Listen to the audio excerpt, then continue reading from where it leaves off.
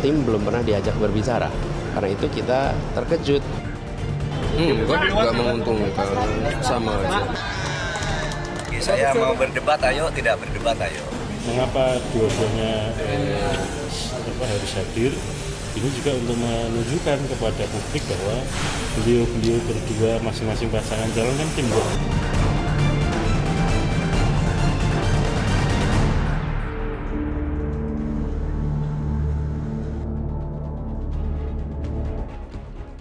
Perubahan forma debat Pilpres 2024 bikin ribut. Aturan teknis Komisi Pemilihan Umum disebut berbeda dengan 2019 lalu yang menghadirkan kedua capres-capres dalam setiap event debat, namun hanya dengan proporsi yang berbeda. Perubahan ini menuai protes bahkan saling tuding antar kubu. Jadi sudah finalkah format tersebut? Akankah kemudian pro kontra yang terjadi hari ini akan mengembalikan format sebagaimana di 2019 lalu? Dan untuk membahasnya sudah bersama kami. Pertama saya akan perkenalkan dulu di studio CNN Indonesia Ketua Tim Hukum Nasional Amin Ari Yusuf Amir.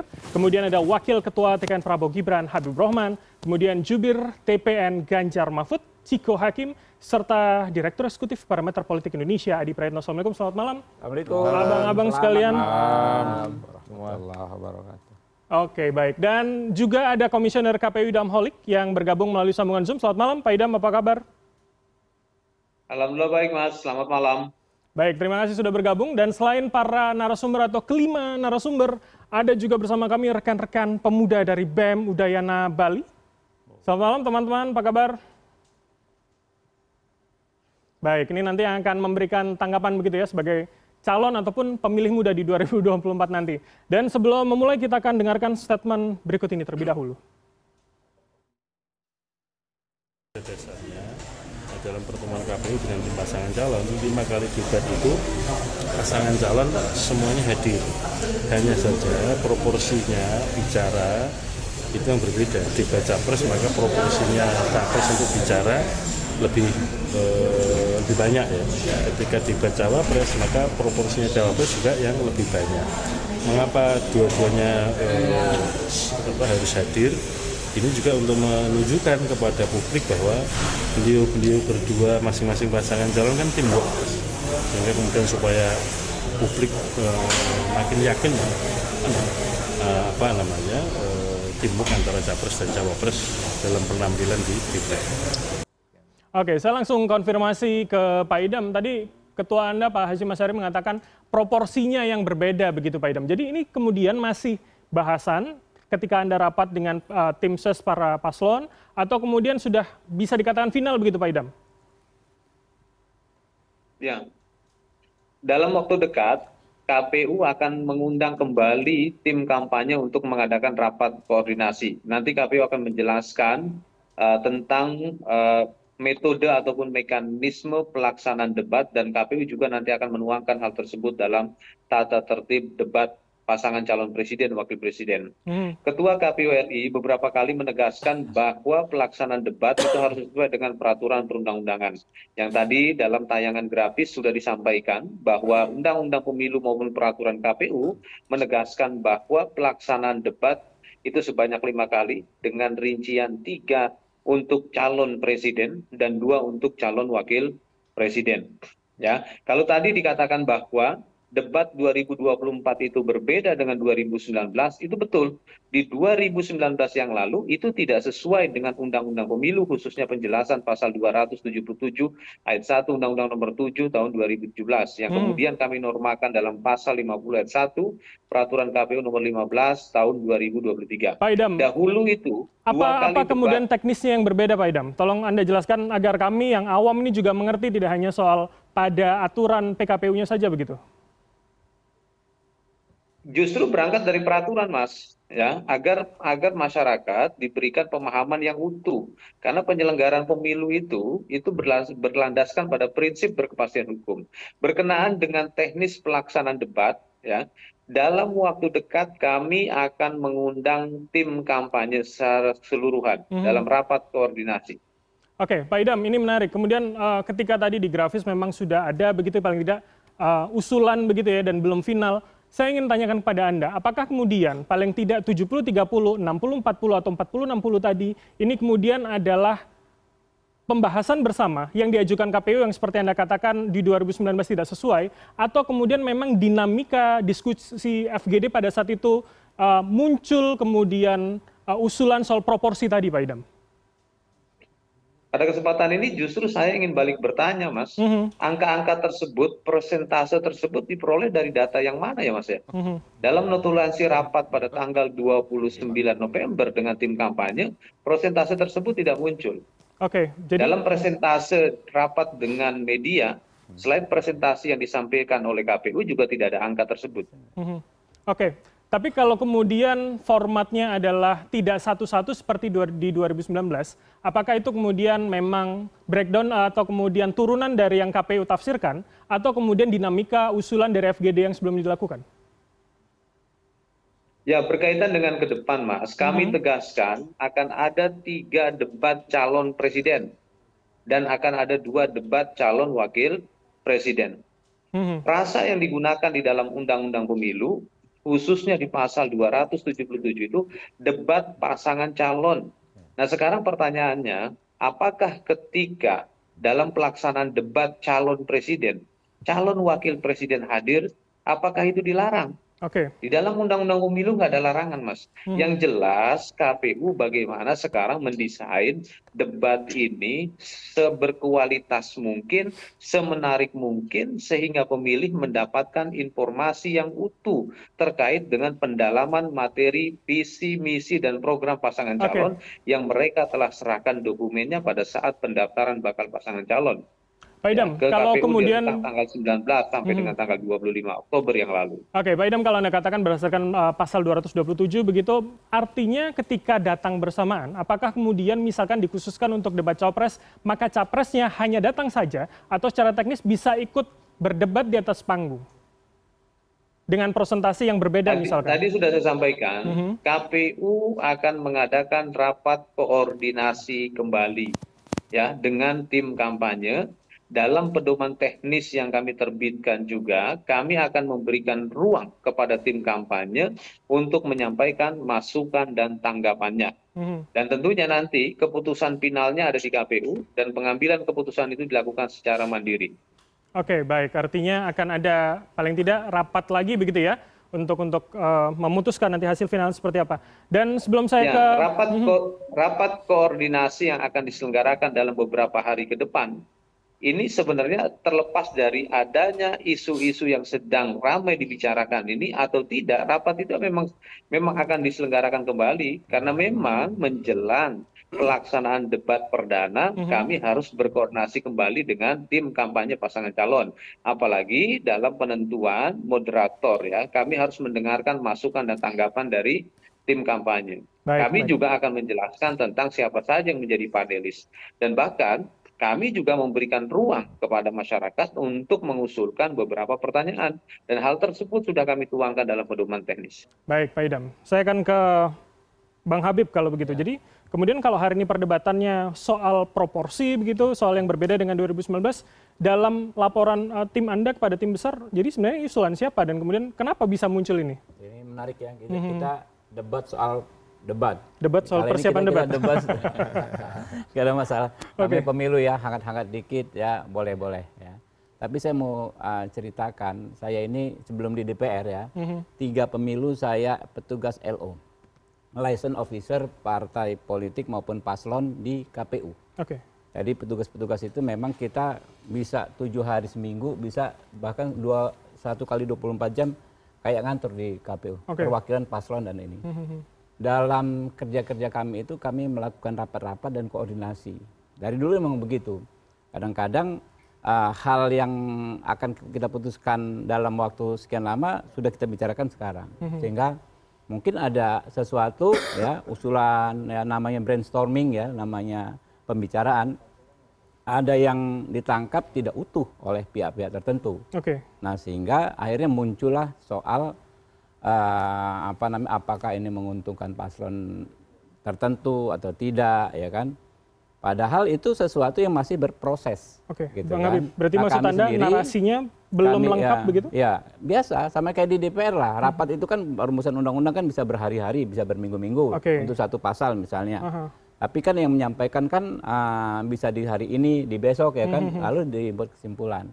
Kebanyakan kan memang begitu yang terjadi mis apa uh, sumbernya miskomunikasi seperti itu. Tapi intinya saja, kalau intinya ditanyakan kepada kami ya, kami justru tidak keberatan dengan format apa pun kalau debat ini. Jadi bukan usulan Mau- dari TKN Prabowo Gibran tentu, begitu ya? Tentu bukan. Ya. mau debatnya misalnya cawapres semua yang debat juga boleh, nggak ada masalah gitu kan. baik. Atau cawapres Mas Gibran apa apa uh, berdebat dengan cawapres Pak Ganjar ya capres Pak Ganjarnya. Artinya tim Anda, Iya. Mas, uh, Pak Prabowo, Mas Gibran tidak masalah dengan kita nggak ada masalah Oke. ya kita siap saja. Cuma kita harus jelaskan juga ke publik ya dari mana munculnya miskomunikasi ini. Oke, Menurut bisa saya Anda- seperti itu. bisa disebutkan ya. dari mana?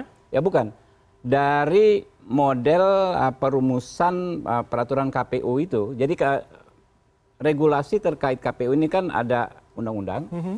Lalu ada PKPU di bawahnya, di bawahnya lagi ada tatip kalau kalau Oke, debat. singkat saja Bang. Saya akan lempar nanti ke narasumber berikutnya. Ya, artinya perumusannya itu kan selalu melibatkan semua pihak. Betul. Ya, termasuk kontestan, paslon, termasuk uh, fraksi-fraksi di DPR yang merupakan juga bagian dari uh, kontestan ini. Oke, Jadi nah- nggak akan ada satu uh, satu pun ketentuan baik di undang-undang, PKPU, peraturan KPU maupun tatip yang lolos dari mekanisme ini, mekanisme kesepakatan Logikanya ini. Tidak sudah- mungkin sudah- KPU sudah menangkap. bisa bikin aturan sepihak. Oke. Nah, tidak mungkin. Nah, Kalau ini kita akan tampilkan bersama Bang Hayut. Hmm. Uh, statement dari rekan Anda, Pak Sudrajat Wibowo berikut ini. Hmm. Terkait dengan soal usulan tadi kita tampilkan di layar. Merujuk notulen internal kami, yang kami pahami adalah bahwa usulan tersebut datangnya justru dari tim Anies Mohaimin ini terkait dengan usulan uh, format debat yang menggunakan proporsi begitu. Nah, langsung saja kalau begitu Mas Ari, saya minta tanggapannya. Ya, jadi memang dalam memahami setiap peraturan perundang-undangan, kita harus menghayati semangat dasar dari undang-undang tersebut. Jadi dikenal dalam istilah hukum itu namanya memory pantoliting. Bagaimana pasal tersebut bisa muncul dan apa maknanya. Oke. Nah, debat ini yang kami pahami bahwa tujuannya adalah untuk menghargai hak konstitusional masyarakat agar masyarakat mengetahui persis kemampuan calon-calon pemimpin yang akan mereka pilih. Tapi kalau usulan dari tim Anda ini bebarengan, apakah kemudian itu spesifik akhirnya bisa mengetahui capres sendiri, cawapres sendiri seperti apa? Iya. Jadi yang kami usulkan itu adalah jadi gini, ada kewenangannya yang tidak bisa bertentangan terhadap undang-undang dan eh, PKPU, ada hal-hal teknis yang merupakan kewenangan dari KPU yang bisa dibicarakan dengan para tim. Ya. Jadi dalam hal ini kita mengusulkan bagaimana memaksimalkan kehadiran semua pihak dalam setiap perdebatan tersebut Oke. tetapi tidak mengurangi semangat dasar bagaimana seorang cawapres bisa berdebat secara all out di sana. Mas Ari, berarti artinya menurut tim Anda yang mengusulkan ini tadi, kedatangan itu apakah kemudian misalkan cawapres? Ya. Saya saya kembalikan pada itu. Apakah capresnya juga harus di atas panggung dan mempunyai proporsi atau kemudian uh, waktu bicara pula atau kemudian hanya datang dan menonton saja? Itu terserah, bebas saja. Artinya mereka berdua bisa datang, bisa salah satu yang naik ke panggung atau dua-duanya naik ke panggung tidak masalah. Tetapi yang menjadi persoalannya tetap di situ yang melaksanakan debat itu sesuai dengan ketentuan undang-undang. Tiga kali buat capres dan dua kali buat cawapres. Berarti maksudnya menurut Anda tim Amin tidak masalah dengan misalkan ada proporsi tadi, kalau kemudian cawapres, waktunya cawapres, cawapresnya akan lebih panjang, lebih banyak begitu waktunya. Nah itu nanti bisa dibicarakan. Tetapi yang jelas harus bisa menunjukkan masing-masing secara mandiri memiliki kualitas dalam debat tersebut. Karena kenapa ada debat? Debat ini untuk mendalami visi misi mereka supaya pada waktu tampil ke publik masyarakat bisa menilai apakah pemimpin ini memiliki kualitas yang mumpuni dan layak untuk dipilih. Jadi tujuan itu jangan sampai dihilangkan. Oke, tujuannya di situ ya. Ya. Tapi kemudian tafsirnya akan kemudian ikut di atas panggung atau tidak itu akan dikembalikan pada forum menurut Anda begitu. Menurut tim Amin kalau itu begitu. so- kalau itu sudah soal teknis, soal teknis bisa dibicarakan, tetapi prinsip-prinsipnya tidak boleh dihilangkan. Jadi debat cawapres tetap harus dilaksanakan sesuai dengan porsinya. Oke, Mas Ciko, tanggapan Anda seperti apa dari tim Ganjar Mahfud? Nomor satu adalah Pak Ganjar maupun Pak Mahfud tidak per- per- mempermasalahkan format seperti apa pun ya, debat itu. Tapi yang kedua yang paling penting kita harus menarik garis ke belakang dulu. Apa sih ruh atau spiritnya mengapa ada pemilihan presiden itu juga terjadi pemilihan calon wakil presiden. Nah itu spiritnya dulu. Oke. Kenapa? karena ada kemungkinan pada satu masa pemerintahan, satu periode pemerintahan itu presiden akan berhalangan tetap, ya. Dan tidak perlu dilakukan lagi pemilu. Jadi Sehingga maksud wakil Anda, presiden harus menjalankan pem- harus sendiri? Betul, cocok. Nah, Ini yang menurut saya dan ini eh, dalam undang-undang maupun peraturan juga mencerminkan itu kan. Kecuali detail-detailingnya ya. Karena kadang kan detailing ini eh, digunakan, disalahgunakan untuk mencari ruang-ruang untuk tidak melakukan itu kan gitu ya. Padahal sudah jelas tiga dua. Nah, kenapa nggak itu aja? Dan Oke. itu pernah dilakukan sebelum-sebelumnya, ya kan? Itu nomor satu. Eh, jadi eh, kembali lagi siapa yang diuntungkan sebenarnya kita kalau bicara untung rugi kita bicara siapa yang dirugikan deh. Oke. Yang paling Menurut Anda? Hmm. dirugikan adalah rakyat Indonesia karena dia tidak bisa melihat secara utuh bagaimana calon presiden ataupun calon wakil presiden yang mereka akan pilih. Nah, dan satu lagi, ini bukan hanya soal visi misi dan gagasan loh. Ini soal eh, debat di atas panggung ditonton oleh eh, jutaan orang di televisi. Orang juga akan melihat emotional state daripada si capres maupun cawapres. Hmm. Apakah Apakah, dia siap itu, men- men- menerima eh, serangan-serangan pertanyaan yang yang tidak biasa dia dapat dan lain-lain. Bang Ciko, artinya walaupun kemudian didampingi, bukankah itu bisa terlihat begitu kan nanti akan ada proporsinya misalnya? Eh, ya kenapa sih harus didampingi? Itu itu kembali menjadi eh, pertanyaan gitu. Kenapa ngotot harus didampingi? Sedangkan bisa dia sendiri. Kalau memang dia bisa sendiri, kenapa dia tidak sendiri? Atau mau dikurangin satu, ya nggak apa-apa gitu. Tapi kan peraturannya bilang tiga dan dua, ya Oke. kan? Eh, silahkan aja gitu. Gimana caranya? Tapi eh, menurut kami yang paling pas adalah ada kesempatan bagi cawapres untuk tampil sendirian Format yang sama dengan di 2019. lebih baik begitu atau atau bagaimanapun itu mau cuma satu yang dia tampil sendirian tolonglah tampilkan sendirian Oke, baik. Saya ke Mas Ari kalau begitu. Jadi rasionalisasinya apa kemudian kalau misalkan opsi itu juga masuk dalam usulan tim Anda? Iya. Jadi prinsip dasarnya kita tidak boleh bertentangan dengan semangat dasar undang-undang. Betul. Ya. Mengenai teknisnya bisa kita bicarakan, tetapi apa yang tadi disampaikan oleh Mas Ciko, rakyat ini ingin melihat secara mandiri baik itu capres maupun cawapresnya itu betul-betul mereka layak untuk mereka pilih. Sehingga apa yang mereka sampaikan lalu begitu eh, disampaikan itu ada sanggahan, mereka bisa menjelaskan, pendalaman materinya itu bisa terlihat di sana. Nah, semangat inilah undang-undang itu dibuat, pasal itu disebutkan, ini jangan sampai dihilangkan oleh karena permasalahan-permasalahan teknis tadi. Hmm. Ya. Jadi semangat tentang debatnya capres menyampaikan visi misinya, debatnya cawapres harus tetap dilaksanakan. Walaupun kemudian ada tuduhan begitu ketika berbarengan, maka ini bisa disupport sama pasangannya begitu. Nah, makanya itu dibicarakan. Kalau soal teknis kan itu soal dalam Tapi eh, usulannya kan dari tim Anda kemudian. kita tidak mengusulkan untuk mereka saling bantu. Hmm. Kita mengusulkan agar mereka semua hadir, menyaksikan. Apakah mereka bisa hadir di depan atau bisa menyaksikan, tapi masing-masing pihak mengetahui bahwa ini loh kemampuannya. Hmm. Baik capresnya itu sebegini loh kemampuannya, cawapresnya ini loh kemampuannya. Nah, dari pihak kami, cawapres kami sangat siap untuk bisa hadir sendirian dalam setiap perdebatan tersebut. Oke, saya ke Bang Habib kalau begitu. Ya. Jadi walaupun Anda mengatakan tadi siapa pun atau kemudian calon Anda Pak Prabowo Mas Gibran ini sudah siap dengan format apa pun, tapi bagaimana tim Anda? Bagaimana tim Anda ketika membahas itu? Mana yang lebih disetujui format yang lama di 2019 atau kemudian usulan yang tim Amin tadi? Ya mak- makanya kami nggak ada yang lebih baik atau lebih buruk. Kami pikir ah, semuanya nggak ada masalah ya. Kami siap saja. Bahkan kalau mau ekstrem misalnya semuanya debat cawapres ya nggak ada masalah ya.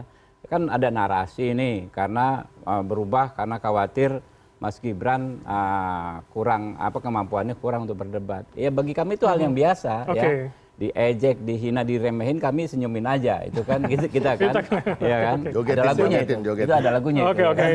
jadi kami kesempatan siap mungkin, ya kan. Hmm. justru ini menjadi momentum bagi kami anda anda lihat ya misalnya gini eh, dari survei Pak Prabowo ketika belum ada fix pas, paslon ya keunggulannya paling nggak nyampe satu kali margin of error eh, dengan paslon berikutnya Jadi artinya Nanti- apa pun ini siap Nanti begitu ya? dulu makanya Ah. jangan potong dulu. Tapi begitu berpasangan fix berpasangan dengan Mas Gibran itu bisa lebih dari empat kali margin of error. Oke. Ya artinya apa? Ini bocil ya kan Mas Gibran ini kecil-kecil cabai rawit ya kan diremehin ya kita senyumin aja. Baik, baik. Tapi mendapat apresiasi dari publik. Apalagi kalau debat ya kan. Ketika debat uh, cawapres difasilitasi oleh KPU, publik bisa menilai, melihat bagaimana the real Gibran. Saya pikir ini kesempatan Oke. emas untuk gaspol gitu. Bang ya. Habib, tapi ini juga kami mendapat informasi soal usulan dari tim Anda, eh, tim eh, nomor urut 2 begitu katanya lebih baik visi saja yang dijabarkan di setiap kemudian Nah, debat-debat itu. ini Kita, akan kita- lihat grafikut sebelum Anda jawab. Ya.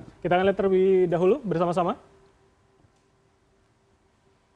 Ini kemudian yang disampaikan oleh co-captain Timnas Amin dalam jadi tanggal 29 November 2023 di KPU kami mencatat usulan dari tim paslon nomor urut 2 agar format debatnya hanya berupa pemaparan dan pendalaman dokumen visi misi saja. Ini berarti format debatnya hanya melibatkan tanggung jawab antar paslon dengan moderator dan panelis serta menghilangkan sanggahan antar paslon secara keseluruhan. Jadi hanya pemaparan menghilangkan sanggahan, Bang Habib. Seperti Ya, apa? itu makanya ini kan miskomunikasi dari orang-orang yang melakukan pertemuan uh, rentetan pertemuan, Mhm. rangkaian pertemuan, ya kan lalu masing-masing menyampaikan pendapatnya, ya kan. Saya udah cek uh, notulensi ini, Mhm. ya Nah, tadi dari kemarin sudah dapat, sudah baca detail. Setelah berita ini keluar juga saya pertegas lagi, nggak ada. Yang ada itu kan itu yang datang itu kan Prof Burhanuddin Abdullah, Mhm. ya kan. Beliau menyampaikan, ya kan, diperpanjang itu penyampaian gagasan. Jadi begitu debatnya sudah eyel-eyelan, bahasanya begitu tuh. Ya kan udah eyel-eyelan, moderatornya itu harus ini. Jadi nama debat capres itu nggak perlu lagi debat kusir. Oke. Ya, artinya misalnya sini ini ngotot, paslon A, B ngotot, bertengkar terhadap satu topik subtopik yang sama itu jangan terlalu lama. Tapi tetap harus Nah, ada ya sanggah-sanggahan yang kemudian ya pasti. disampaikan tidak ada itu seharusnya oh, ada pasti harusnya Anda. ada. Ini ya, notulensi jelas kok. Nanti Oke. kita minta rekamannya kalau perlu nggak ada masalah Mhm. gitu kan. Oke. Jadi nggak ada. Tapi nggak saya salahkan juga. Yang salah itu kan hal-hal yang seperti ini yang sedang berproses. Kenapa di judgment gitu kan? Seolah-olah eh, apa namanya ini sudah sebuah eh, apa namanya keputusan Silahkan. gitu kan? Nggak ada, nggak ada gitu loh. Jadi menurut Anda- penting. Ketua KPU yang Ya. pertama kali Mhm. mengeluarkan statement itu, itu salah di dia berarti Oke. kan. Jadi- Iya, dalam masih diproses, Ya. tapi dia sudah menyatakan seakan-akan itu dalam jadi konteks barang. itu tadi ya kan? Eyel-eyelan itu juga nggak pas. Kayak kita gini nih saya dengan Bro Ciko kan sering, sering kita ketemu di TV kan. Kalau saya ngomong A pendirian saya Bro Ciko ngomong B ya udah gitu loh. Kita berpendapat berbeda. Tetapi kalau difasilitasi terus pengen show-nya misalnya kan wah gimana di konfirmasi lagi bolak-balik habis waktu karena ini waktunya singkat sekali pak dan ini lebih singkat karena Tapi berarti maksud paslon. Anda yang kemudian tim lain yang salah menangkap dan menjabarkan pada Bukan, timnya. nggak, Nah ini kan. Jangan Tapi kan selalu saya mengkonfirmasi tentunya. Jangan selalu. Saya akan mengkonfirmasi ya. benarkah demikian. Namanya miskomunikasi di mana saja bisa terjadi. Oke. Ya, bukan persoalan salah gitu loh. Namanya miskomunikasi biasa nggak ada masalah. Oke, saya gitu tanyakan loh. ke Bang Ari kalau begitu dari tim Amin. Ya kalau kita melihatnya dari segi positifnya ya, dengan peristiwa ini menimbulkan reaksi yang baik dari masyarakat. Tapi statement tadi betul? Saya konfirmasi terlebih dahulu. Eh, statement tadi saya sudah konfirmasi itu betul. Oke. Itu betul. Saya sudah tanyakan kepada kok kapten Mbak Nini ini bahwa itu betul dalam eh, tapi yang paling penting itu adalah sekarang dengan kondisi saat ini masyarakat menjadi tahu ada perdebatan-perdebatan seperti itu sehingga tidak ada hal-hal yang mungkin nanti tiba-tiba kita kaget ada keputusan yang mengagetkan masyarakat lalu tidak me- menyalurkan aspirasi atau keinginan masyarakat. Ya, betul, Jadi betul. ini menjadi sehat Ya. supaya ini menjadi fungsi kontrol masyarakat Sekaligus dalam setiap kegiatan itu bagaimana Dan hasilnya tidak bisa Jangan bisa berubah gitu ya artinya Iya, dengan betul. kemudian. Oke. Nah dengan ini kan responnya KPU juga luar biasa. Kita tanya Mas Ari, kalau gitu ke KPU, ke Pak Idam, kalau begitu. Tadi dikatakan eh, Mas Ciko hasilnya belum ada, tapi ketua Anda sudah menyampaikan ke publik begitu, progresnya begitu Pak Idam. Komentar Anda? Ya, terkait dengan hal tersebut, ya, beliau itu kan menyampaikan dalam kapasitas rencana. Mhm. Ya, kapasitas rencana dan yang jelas nanti semua itu akan dituangkan dalam tata tertib debat. Saya pikir yang beliau sampaikan tidak ada yang salah. Ya, yang beliau sampaikan juga tidak ada yang melanggar peraturan perundang-undangan. Kalau kita kembali ke kaji undang-undang secara rinci, ketika pelaksanaan debat calon presiden, kan tidak ada larangan calon wakil presiden hadir. Itu yang perlu kita highlight. Oke. Nah, di sinilah pentingnya ya, dan saya yakin ke depan rekan-rekan media juga dapat menyampaikan secara utuh. Itu keyakinan saya. Baik, baik. Tentu menghadirkan ke semua pihak di hari ini tentu adalah upaya kami untuk mengonfirmasi di mana titiknya sebetulnya. Saya ke Mas Adi kalau begitu. Bagaimana Anda melihat Akhirnya. gunjang-gunjing Akhirnya. ribut-ributnya? Dari tadi nggak kebagian debat nih. Ini kita kita biarkan merangkum dulu Mas Adi, silakan. Sebagai warga negara biasa menikmati dari jauh. Silakan Mas Adi seperti apa? Kalau saya secara prinsip pertama KPU itu harus punya spokesperson lah ya. Ini kan untuk meladeni perdebatan-perdebatan di media sosial di kalangan elit antar calon itu penting ya karena ini kan se- selama kurang lebih sekitar seminggu ini kan perdebatannya luar biasa. KPU dituduh menghilangkan debat cawapres. Dari mana ceritanya misalnya tiba-tiba dalam undang-undang yang disebutkan debat capres itu tiga kali, cawapres dua kali, kok kemudian harus ada pendamping di situ? Kan nggak ada penjelasannya. Ada tendensi-tendensi yang kemudian menjurus kepada KPU yang dinilai memproteksi untuk kepentingan salah satu paslon tertentu. Ini kan liar mas, ini nggak bagus. Tentu teman-teman KPU kan sibuk. Nggak mungkin day, day to day meladeni semua pembicaraan publik yang saya kira memang cukup sarkastis bahkan tendensius. Oleh karena itu perlu jubir sebenarnya. Entah siapa, mungkin komisioner, mungkin ada staf ahli di situ untuk meladeni pembicaraan publik yang cukup luar biasa. Bahwa ini adalah semuanya masih ongoing proses, bukan keputusan final yang disepakati oleh semua calon bahwa inilah format yang disepakati untuk 2024. Nah, seberapa penting kemudian progres itu disampaikan agar kemudian ya hari ini progres sampaikan tapi dinamika publik muncul begitu Mas? Ya penting karena publik ini kan mendahului pembicaraan yang ada di KPU dan uh, paslon. Ini kan belum ada keputusan resmi, terus dikonsultasikan sampai minggu depan mungkin. Oleh karena itu yang belum clear sebenarnya sampai hari ini publik itu sudah berkesimpulan seakan-akan ini sudah keputusan final Pak. Persoalan cawapres tampil ke publik tapi ada pendampingnya yaitu capres. Bahkan ada kesan yang kemudian pendampingnya pada capres nanti juga akan banyak bicara seperti pada perdebatan-perdebatan sebelumnya. Ini yang saya kira pentingnya juru bicara sebenarnya pada level KPU. Yang kedua, ada yang sebenarnya sifatnya politis ya. Politis yang sebutkan memang harus diakui. Ada underdog ya pada salah satu cawapres tertentu. Mungkin cawapresnya Bang Habib yang dinilai dalam be- yang dinilai dalam beberapa forum Oke, misalnya oke. tidak terlampau mau Mas, menghadiri jangan ke situ dulu karena dampak elektoral akan kita bahas usai jeda. Tapi Enggak saya yang saya mau bicara itu, kenapa ini ramai mas? Kalau Prabowo Subianto, kemudian Anies Baswedan, eh, Pak Ganjar Pranowo, ini orang sudah terbiasa melihat Oke. mereka berdebat, Aha. melihat Pak Mahfud bicara di depan publik biasa, Mohaimin Iskandar biasa. Orang seakan-akan belum terbiasa melihat Mas Gibran ini bicara di depan publik, Oke. menyampaikan visi misi, itu yang ramai. Oke, saya ingin mendalami itu, tapi nanti usai jeda karena kita akan jeda sinak. Permisal tetaplah bersama kami di Political Show.